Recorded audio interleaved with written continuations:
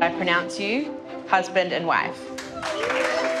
Every day in Australia, over 300 couples tie the knot. Do you choose David as your husband? I do. A third of those weddings are a mix of religions, They never expected that I would go out with a Muslim guy. traditions, and beliefs. I have made up my mind. I will be converting into Islam. Bringing them together To get married, it would only make sense to do it the Orthodox way.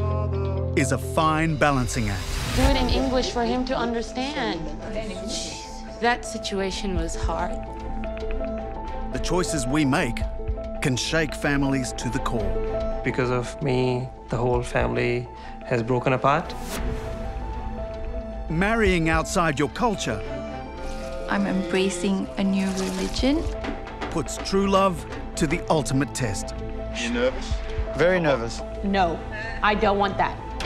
The Iranian culture is very much about respect. And it's pressure. It's a lot of pressure. that most people don't understand.